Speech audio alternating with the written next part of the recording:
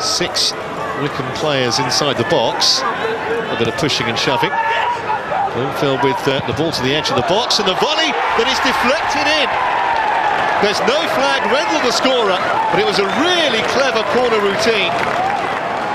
Looks like either Locke or Coker are going to try their luck here. Oh, it's in! I'm not sure if there was a deflection. It's Higgins.